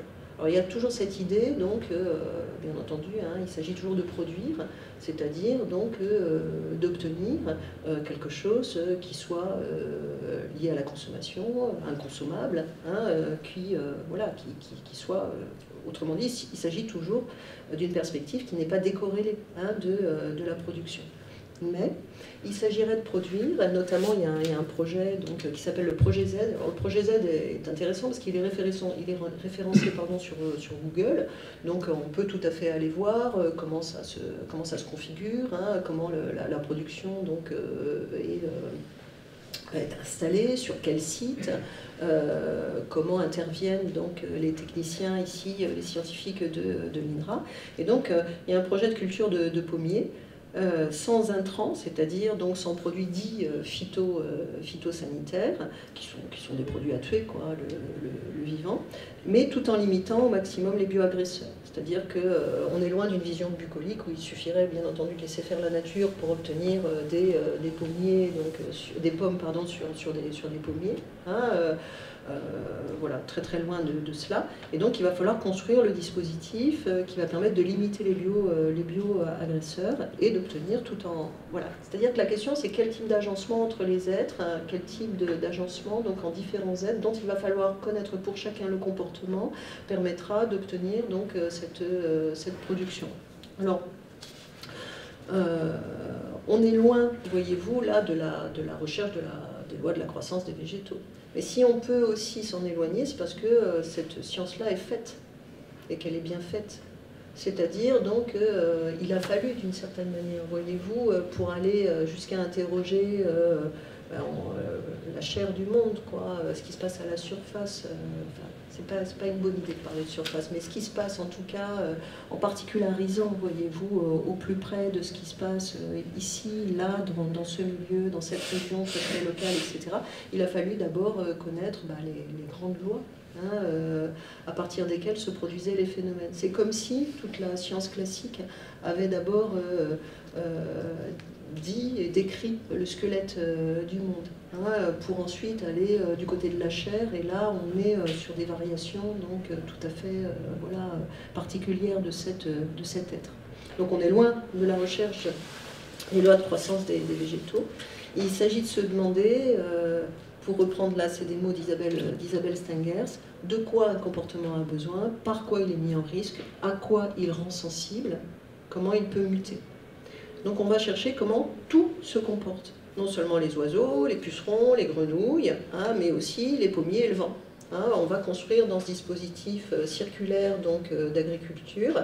Euh, alors on va construire un dispositif circulaire, d'abord tout un ensemble de haies hein, qui vont provoquer un tourbillon donc pour qui vont mettre en tourbillon donc les, courants aériens, c'est-à-dire le, vent lui-même, de sorte que les pucerons qui vont arriver parce qu'ils sont ils arrivent de manière passive, ils n'ont pas de petite euh, ils décident, n'ont pas de motricité, ils sont conduits, nos, pucerons, par le, par vent lui-même, de sorte que nos pucerons qui vont entrer donc, à, l'intérieur de ce, site hein, où les pommiers vont, pousser, ces pucerons ils vont être rabattus d'abord euh, sur euh, une première rangée de, de pommiers qui a cette particularité euh, d'inhiber, euh, dès lors que les pucerons donc, euh, fécondent son, écorce, d'inhiber le développement justement de, des œufs de pucerons.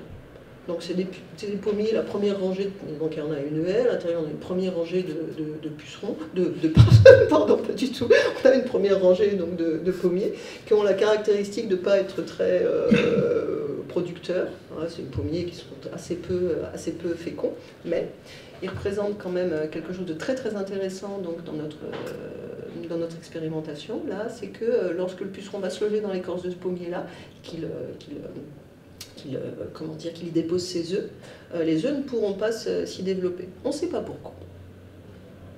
Alors voilà, c'est-à-dire que l'INRA va utiliser ces pommiers-là comme première barrière donc, contre les bio-agresseurs, principaux là, pour nos pommes, c'est les, pucerons. Cette première barrière-là, euh, sans savoir euh, avant, euh, avant tout, précédemment, sans savoir déjà comment ça marche, c'est-à-dire donc par quel mécanisme chimique ces pommiers-là inhibe le développement de, de, nos, de, nos pucerons, de, nos pucerons, Et ça, c'est assez nouveau aussi. Ça, ça aussi, c'est quelque chose d'assez nouveau.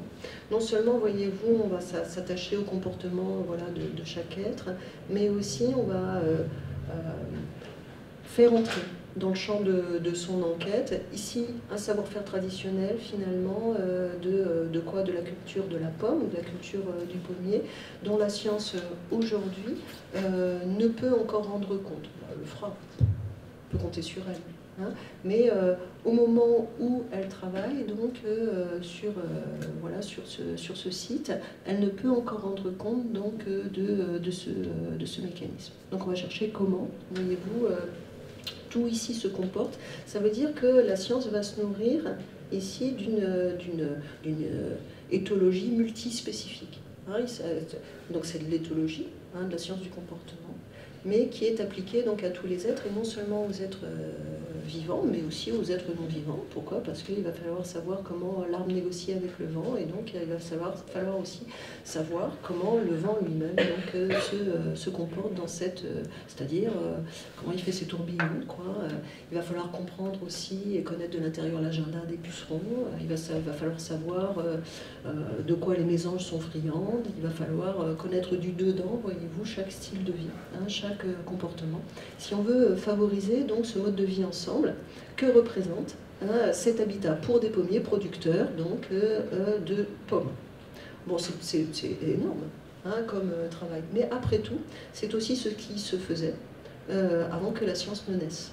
Et c'est aussi ce qui se fait encore ailleurs et qui continue de se faire donc dans d'autres lieux ou dans d'autres endroits du monde. Mais ce qui se fait là, eh bien, pour autant est différent. Pourquoi? Parce que ce qui se fait là est nourri aussi de culture scientifique, nourri de savoir euh, scientifique.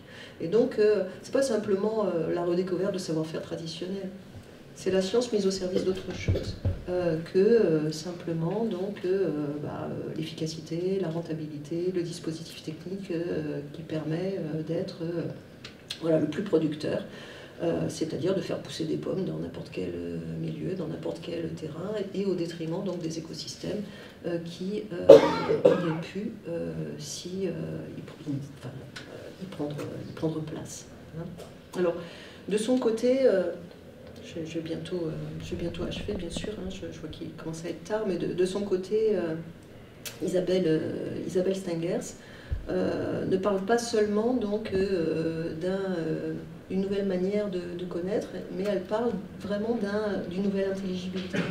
C'est-à-dire que d'une nouvelle manière euh, euh, de, de, comprendre, nous serions passés d'une science, dit-elle, de la dépendance. Science de la dépendance, c'est-à-dire une science qui rend intelligible euh, la nécessité qui préside à l'apparition des phénomènes, c'est-à-dire qui rend intelligible les conditions d'apparition d'un phénomène, à des sciences de l'interdépendance. voilà, on, a effectué ce passage, ce passage est en train de s'effectuer, en tout cas ça a commencé, cette chose-là a commencé. Hein, ce passage d'une science donc de, de, la dépendance à des sciences de l'interdépendance qui rendent intelligibles non plus donc euh, des lois, c'est-à-dire des conditions, euh, des conditions générales et universelles donc de la production d'un phénomène, mais qui rendent intelligibles des événements, qui rendent intelligibles des processus qui rendent intelligibles des métamorphoses, qui rendent intelligibles des, euh, euh, euh, résurgences même, ou encore donc des, tendances.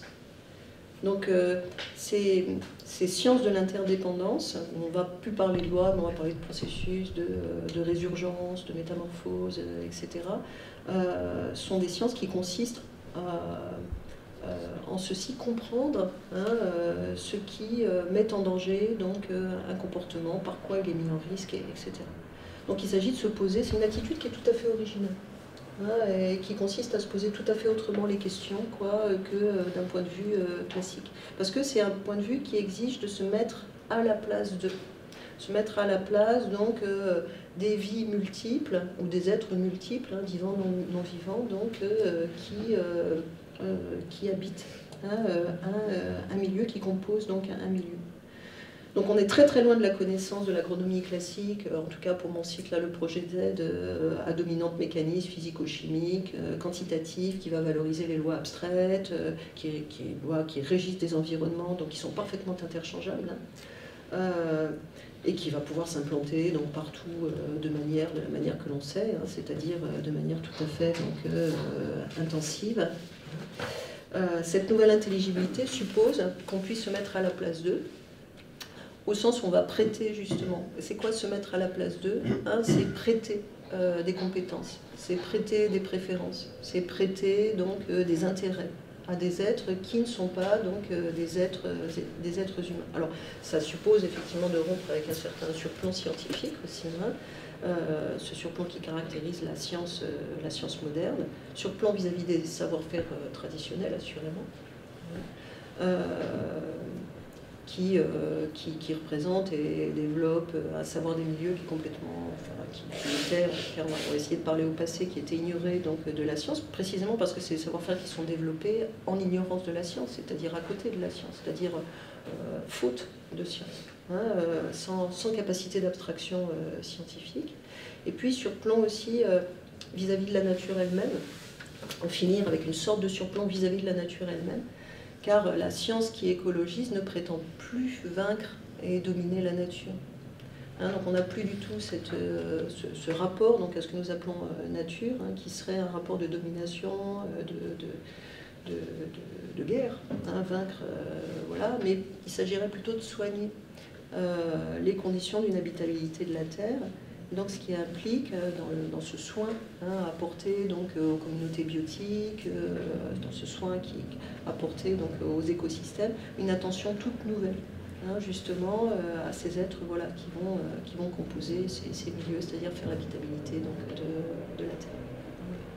Voilà, je voulais terminer sur ces mots. Je pense qu'il est, possible de vraiment questionner hein, ce, que je, ça fait la proposition qui est, qui est la mienne, et puis peut-être vous avez sans doute des questions, quoi, là, j'y répondrai très, volontiers.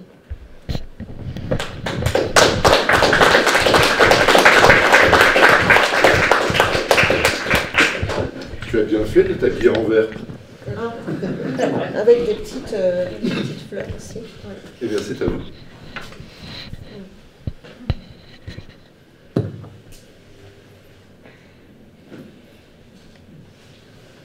Juste. Euh, commenter cette question que vous avez évoquée à un moment entre le savoir-faire et la science. Il me semble avoir lu, je suis certain de l'avoir lu, qu'elle était revendiquée par au moins une branche de l'agroécologie qui vraiment se base sur cette question-là, qui est comment, euh, comment faire en sorte que l'un réponde à l'autre et les deux se renseignent mutuellement. Comment faire pour que le savoir-faire du, praticien et, euh, et, la science du scientifique euh, se rejoignent. Et juste, euh, il me revenait en vous écoutant une conférence auquel j'ai à laquelle j'ai assisté, qui était menée par un berger et deux, deux scientifiques, et ce berger des Alpes qui, qui un jour était dans, ces pâturages-là, et ces deux scientifiques sont montés. Et en gros, on commençait à parler avec lui en disant Mais comment tu fais? Qu'est-ce que tu fais? Comment tu choisis tes quartiers? À quel moment? Tu amènes tes brebis vers l'eau, etc. Et donc, ils sont repartis. Et puis ils l'ont rappelé un peu plus tard, et entre-temps, il avait rempli tout un tas de cahiers avec euh, tout son savoir-faire, dont les scientifiques se sont emparés, et ensemble, ils ont construit quelque chose qui maintenant est une pratique qui, est mise au service des apprentis bergers, et qui, permet effectivement probablement d'avancer vers quelque chose qui soit à la fois étayé scientifiquement, et probablement euh, qui ont servi le berger, les scientifiques ont servi le berger, mais évidemment, le berger a servi les scientifiques qui, sans lui, était probablement un peu sans voix.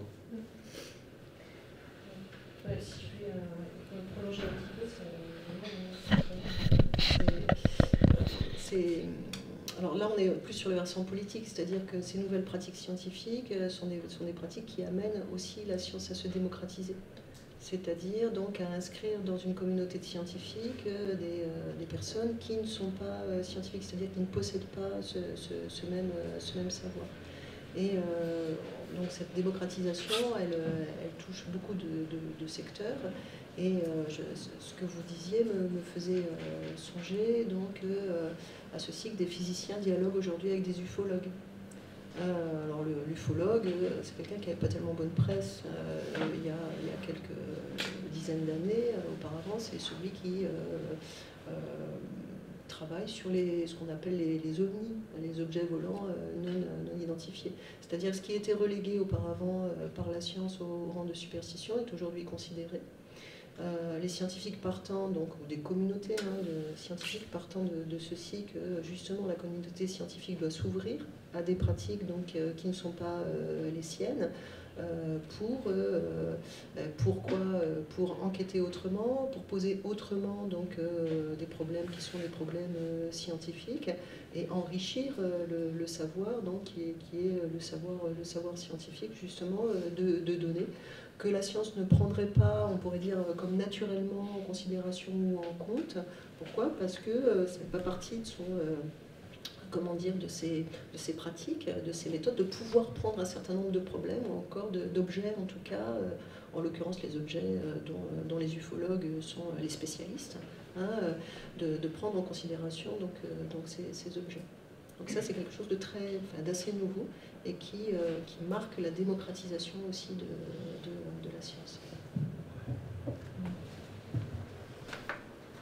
Pour aborder dans ce sens-là, euh, il y a chez Latour ce, ce, joli travail à un moment donné dans, dans, un monde incertain où il montre que les scientifiques qui travaillent sur la myopathie, alors là on est sur des pointures hein, biologiques de quatrième degré, ils ont découvert qu'en échangeant avec les myopathes eux-mêmes, en rencontrant des malades de la myopathie, ça renforçait leur recherche scientifique. Donc c'est comme ça qu'il est amené avec sa notion de savoir profane. Voilà, il y a quelque chose qui, qui abonde là dans cette, cette articulation de mondes qu'on peut opposer, mais là tout d'un coup on voit la richesse de, de se mettre à l'écoute de ce savoir profane.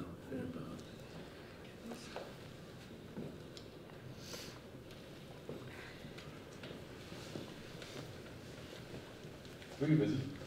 Oui, moi j'ai beaucoup apprécié un essai que j'ai terminé récemment de Vincent Després, Habiter un oiseau, où euh, justement euh, elle interroge euh, les pratiques d'ornithologue de part, et puis aussi en fait elle regarde un peu l'épistémologie en fait de ce qui s'est passé. Et puis à un moment donné, il y a cette référence que j'ai trouvée formidable à Mille Plateaux de Gilles Deleuze, avec euh, le plateau, puisque les appelait comme ça, de la ritournelle, qui euh, que je vous conseille de lire, qui est, fabuleux, qui parle à la fois du chant des oiseaux, euh, justement, d'ornithologie, mais aussi en fait d'anthropologie, avec la question du chant, la berceuse, des choses comme ça.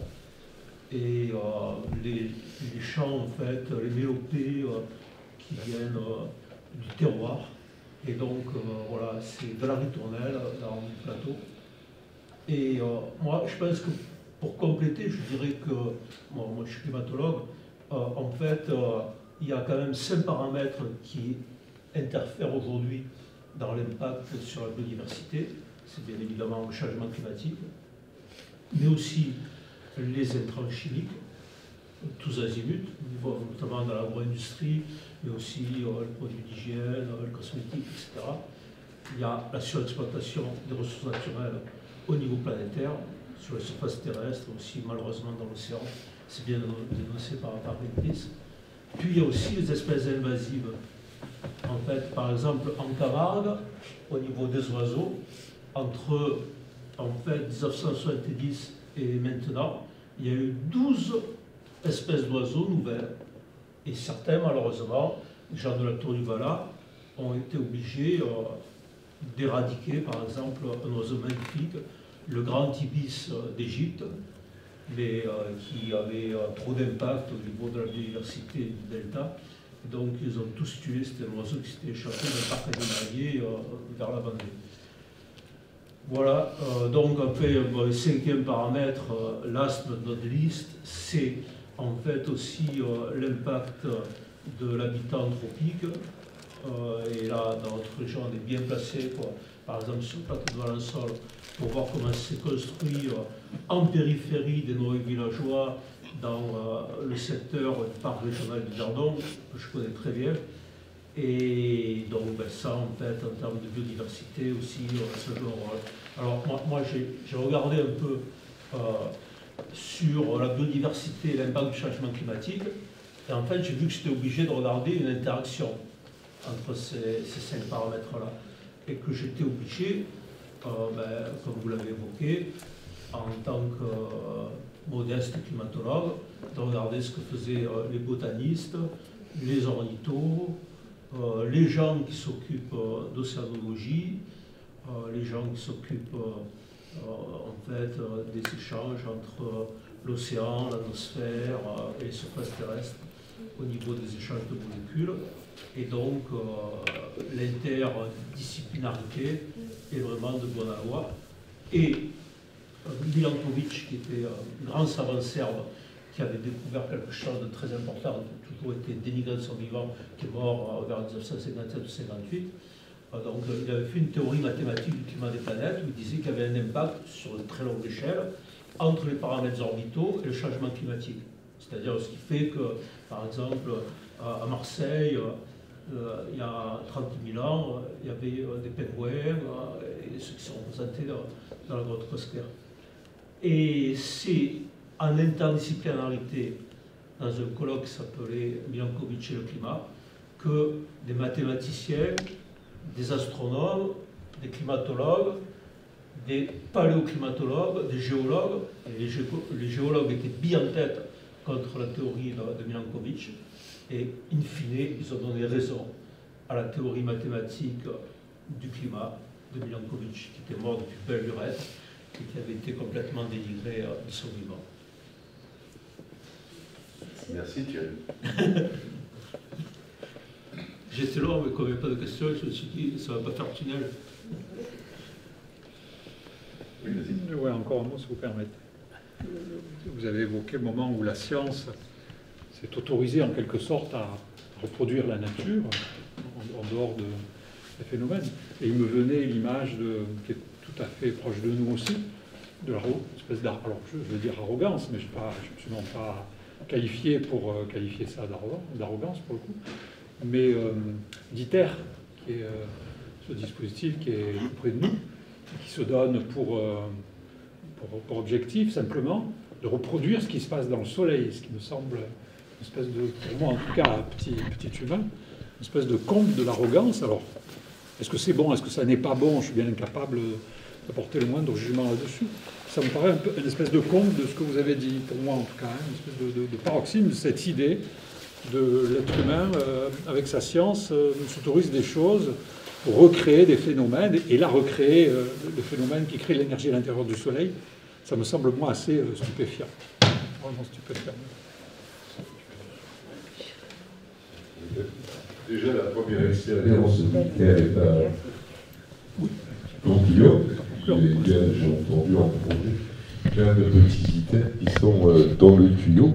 Donc, comme toi, je suis euh, suspect sur cette volonté de, jouer une nouvelle fois aux apprentis sorciers euh, et, ouvrir la boîte de Pandore.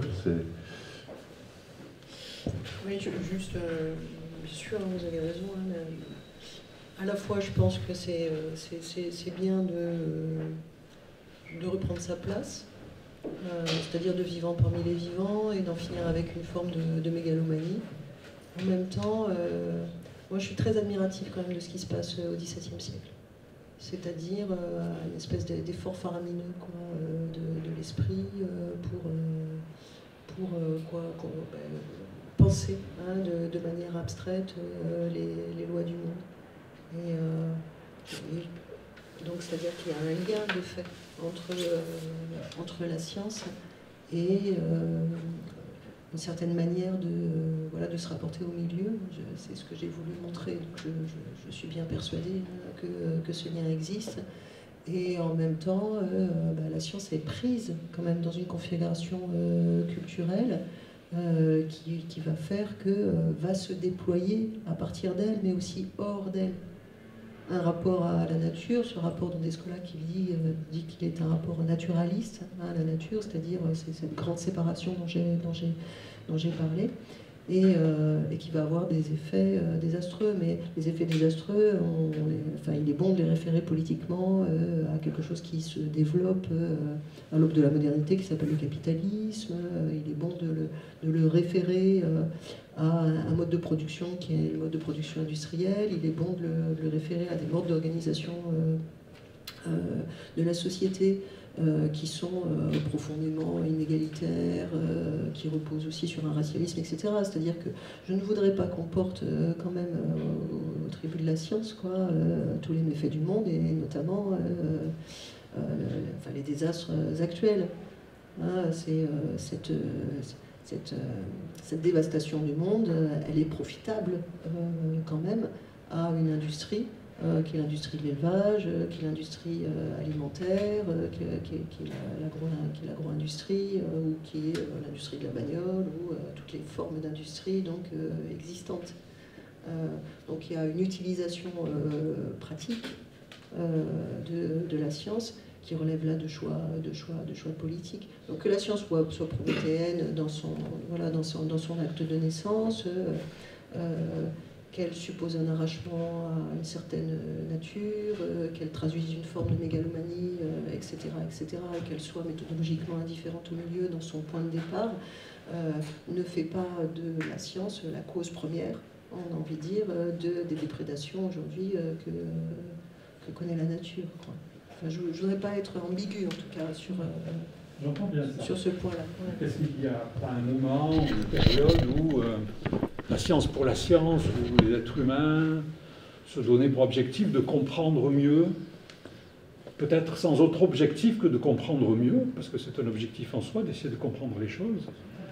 Et est-ce qu'à un moment, on ne se retrouve pas maintenant, même peut-être même plus sur des choix politiques, mais simplement par exemple pour l'exemple d'ITER que je citais, ou sur l'exemple de l'agriculture dont, vous avez parlé bien souvent, bien longtemps, euh, obligé, simplement obligé d'eux. Parce qu'on se retrouve euh, sur notre planète à être d'abord de plus en plus nombreux, à consommer de plus en plus d'énergie, et donc il faut trouver des solutions à ça. Et une des solutions, peut-être, c'est ITER. J'ai aucun, une fois, aucune, compétence pour dire si c'en est une bonne ou pas. Et donc, est-ce qu'à un moment, la, science, ne c'est même plus des choix politiques, mais c'est simplement essayer de courir maintenant après, euh, après le temps, après d'une certaine façon les dégâts qu'on a pu faire, ou la façon dont on s'est créé un monde autour de nous, qui par exemple consomme beaucoup d'énergie, à la fois de l'énergie euh, pour faire fonctionner tous nos appareils, on le sait, et puis, mais en même temps aussi de l'énergie pour nourrir tout le monde, parce que c'est vrai qu'on est très nombreux sur cette planète et qu'elle commence à peut-être à ne plus suffire. Donc il n'y a plus vraiment de choix. Peut-être que sur la question alimentaire, euh, il semble qu'on ait à l'heure actuelle de quoi nourrir euh, d'une part tout le monde, et il semble par ailleurs qu'au plan de la, rentabilité ou des rendements, euh, il y ait des modes de permaculture qui soient beaucoup plus rentables, beaucoup plus efficaces en termes de rendement, c'est-à-dire même si on ne considère que l'utilité. il semble qu'il soit préférable quand même euh, d'utiliser des, manières qui écologisent plutôt que euh, des manières qui euh, ruinent ou détruisent les, milieux. Simplement en termes d'utilité rentable, c'est-à-dire d'efficacité du rendement.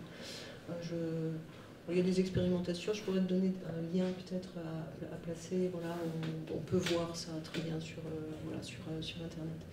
Et après, il semble que euh, l'utopie technicienne, à savoir se sortir par la science euh, du, désastre actuel, continue, euh, continue d'exister. Il y a même des gens qui projettent d'aller sur Mars, hein, faire, voilà, refaire d'une certaine manière donc une nouvelle Terre, c'est-à-dire bah, voilà, avec le même destin, la même finalité, enfin la même, pas finalité, mais la même, la même fin donc, que, pourrait connaître, si l'on pense en termes de désastre, donc le, notre, notre, notre Terre il semble que la décroissance, de toute façon, ne puisse, euh, enfin, soit inévitable si l'on veut euh, voilà, arrêter euh, ce, qui est, ce qui est désastreux aujourd'hui, qu'on n'ait pas le choix de ce côté-là. Et après, c'est une affaire de, bah, c'est une affaire de volonté politique. Ceci dit, à une autre échelle, les désastres, les désastres écologiques, la surpopulation, la surconsommation d'énergie, c'est vrai. De toute façon, si on, entendait parler de qu'est-ce que c'est qu'un monde, là, il y a quelque temps, et donc c'est l'idée de survivre et de se reproduire et de continuer.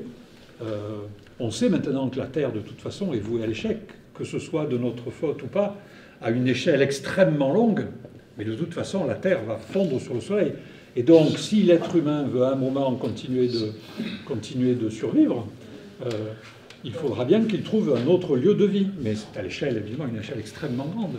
Mais euh, si on, pourquoi ne pas regarder cette échelle de temps-là, où de toute façon, l'être humain et les êtres sur la Terre sont voués à la disparition c'est-à-dire que euh, oui, effectivement, euh, si, euh, si, si, l'on, continue tout ce qui est désastreux, le désastre sera là. Mais il y a déjà d'autres manières de faire qui existent aujourd'hui dans ce monde. D'autres, d'autres, communautés, des collectifs hein, qui, de manière extrêmement militante, hein, font déjà vivre autrement donc, ce, monde, d'une part. Et d'autre part, ce, que l'on, voit, c'est-à-dire ce que les les scientifiques hein, qui, s'intéressent à la question euh, euh, sont amenés à constater, c'est que euh, dès qu'on arrête de maltraiter, la vie reprend d'une manière tout à fait extraordinaire. C'est-à-dire dès qu'on laisse un, petit milieu là, sans, un peu en libre évolution, sans, sans, tracasser, quoi, sans, trop intervenir, il y a tout de suite quoi, une, une poussée vitale.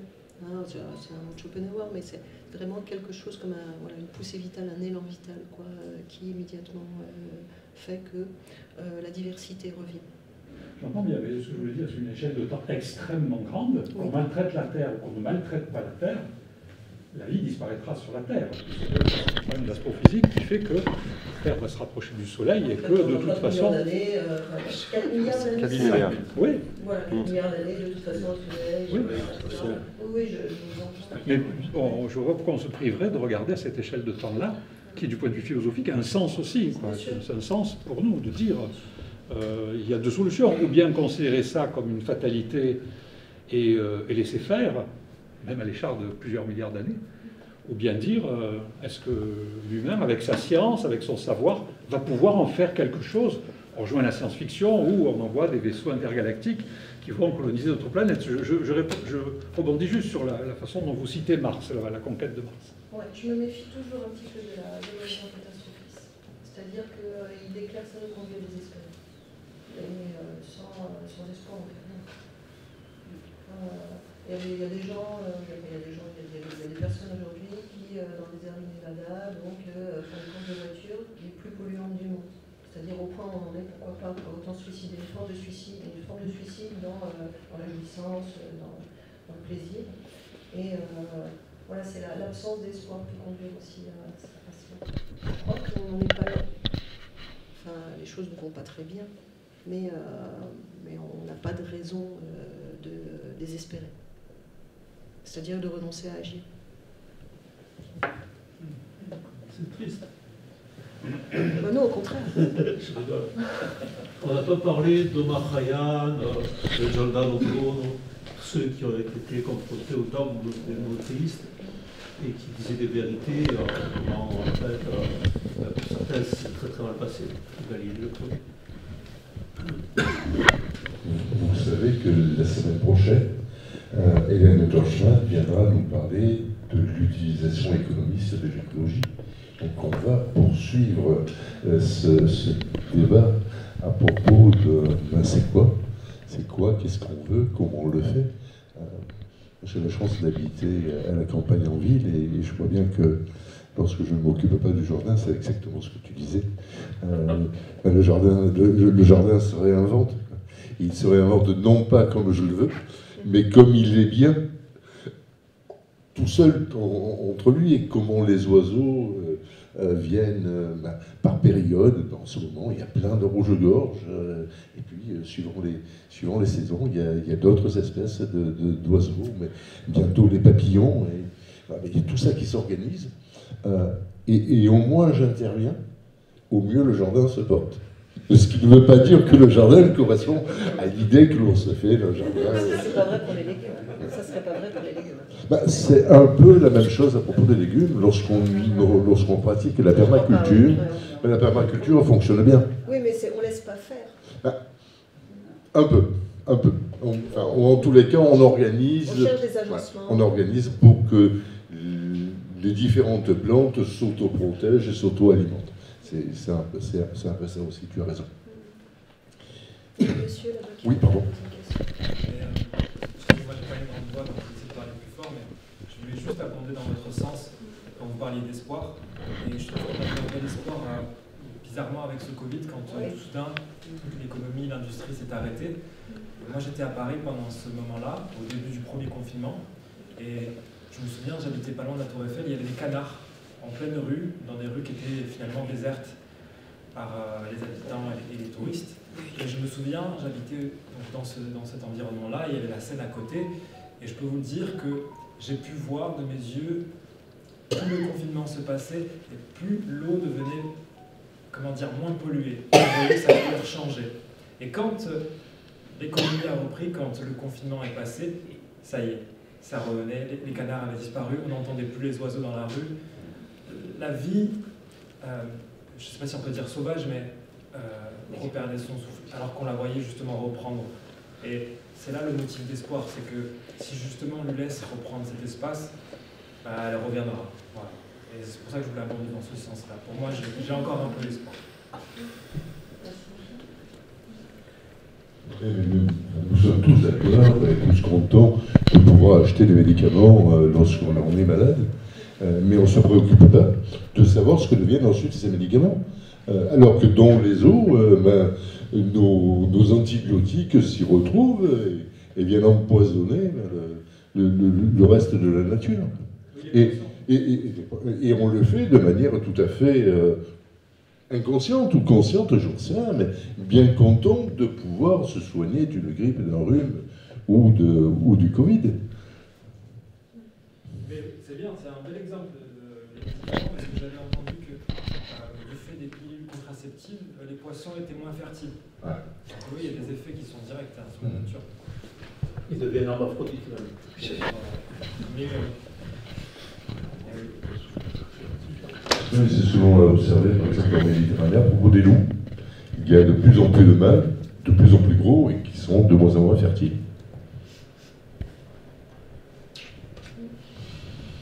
Moi, je suis content de cette soirée.